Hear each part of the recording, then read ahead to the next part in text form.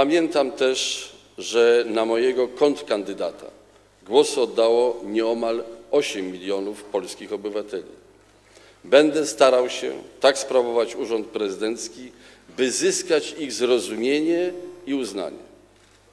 Zwracam się również do tych moich rodaków, którzy nie uczestniczyli w wyborach, nie poszli do wyborów. Gorąco pragnę pobudzić do aktywności obywatelskiej wszystkich zniechęconych czy obojętnych